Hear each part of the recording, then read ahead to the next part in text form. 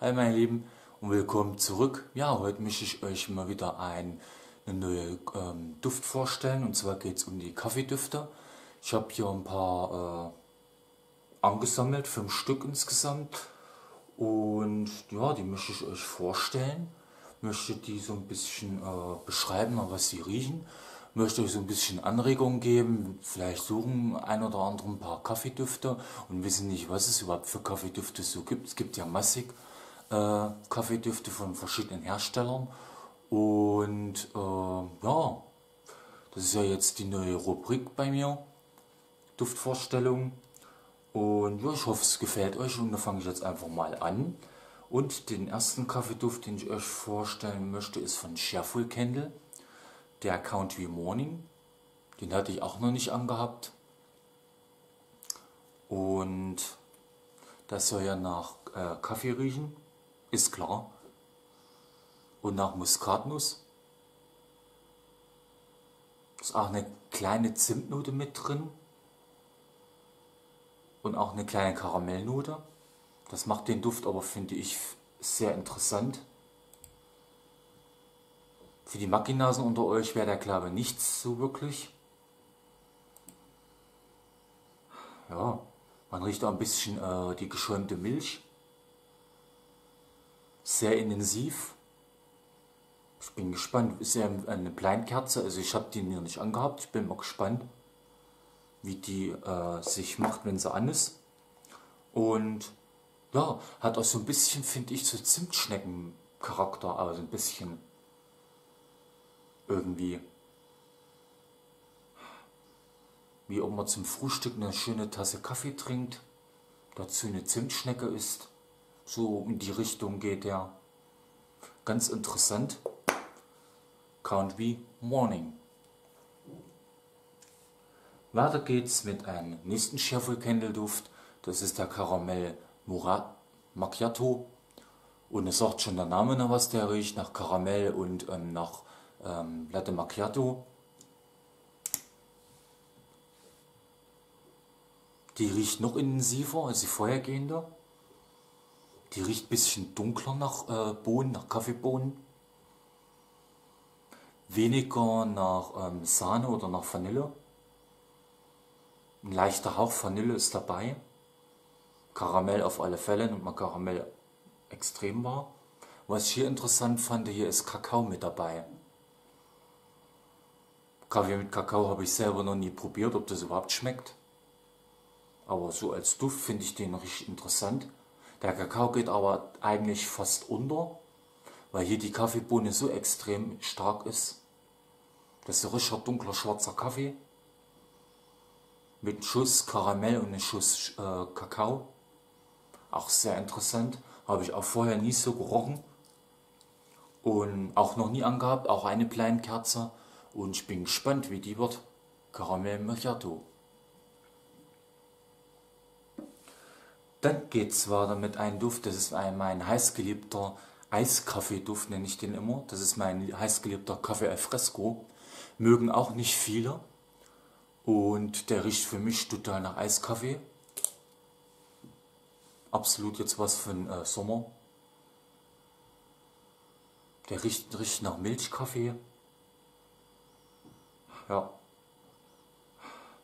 nicht so intensiv, also vom Kalten her, wie die anderen vorhergehenden.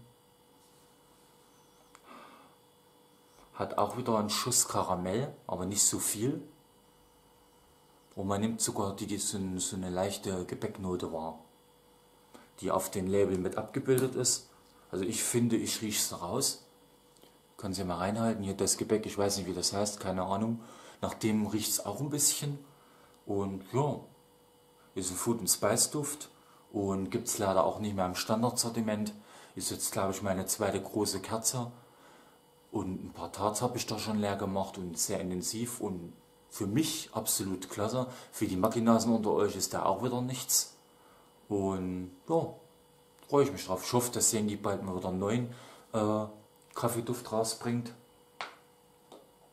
Weiter geht's mit ein, auch ein Yankee-Duft, den gab's letztes Jahr im Herbst und das ist der Sweet Melbishai.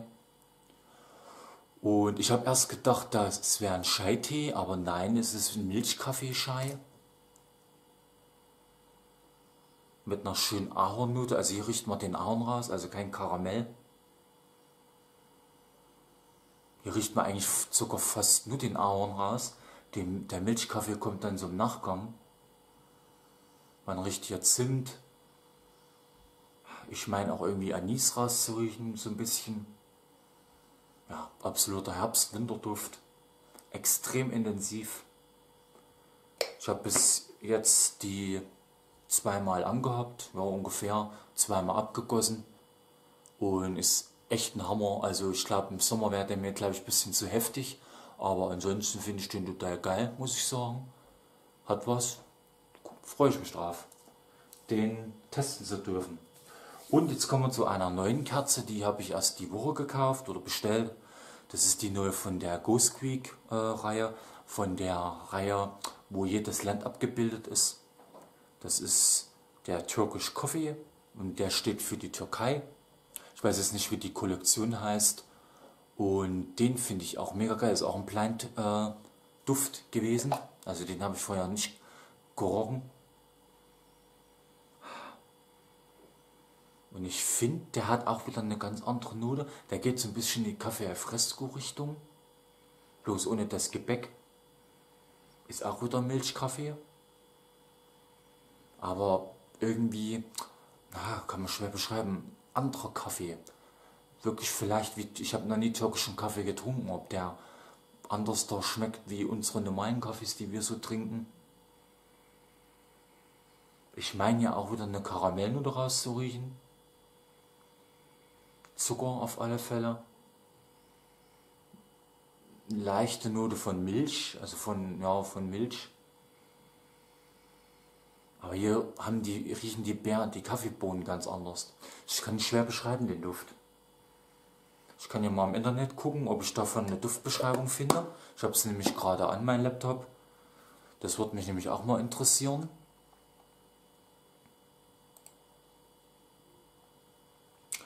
Ob ich jetzt schnell auf die schnelle Finden tue. Goose Creek und äh, äh, ähm, wo haben wir es jetzt?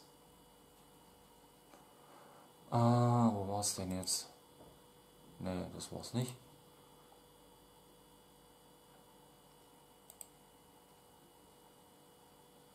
So, jetzt bin ich mal gespannt, wo der ist. Ah, hier ist er ja.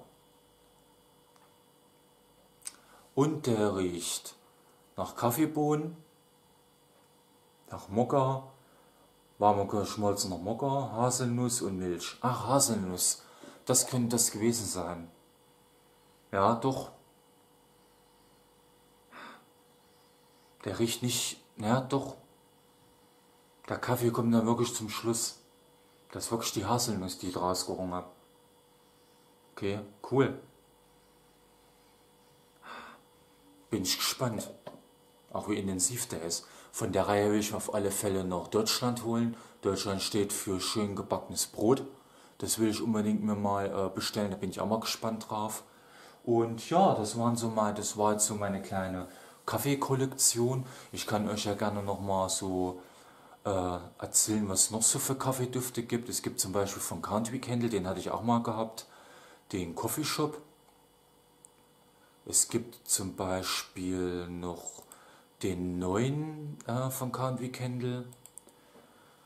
Ähm, ich glaube, das ist Espresso heißt der.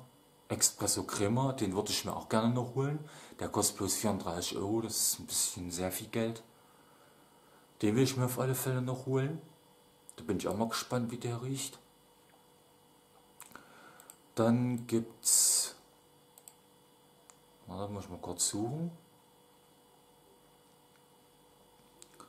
Von Ghostquick gibt es noch einen, der heißt auch Coffee Shop. Dann gibt es von Kingelquendel Vanilla Latte zum Beispiel noch. Von ähm, Village Candle Coffee Bean gibt es zum Beispiel noch. Den kenne ich aber nicht, kaufe mir nicht so wirklich Village Candle Düfte. Die gefallen mir nicht so. Dann gibt es noch von Village Candle Salted Caramel Latte. kenne ich zum Beispiel auch noch nicht. Dann von Bath Body Works Paris Coffee. Und das war's, glaube Von Ludwig, der White Honey, da ist wahrscheinlich auch Kaffee mit drin. Dann noch von Village Candle der Charlotte Latte, sagt mir auch nichts jetzt auf die Schnelle. Und ja, das war's gewesen so an Kaffeedüften, die es so gibt im Moment. Ja.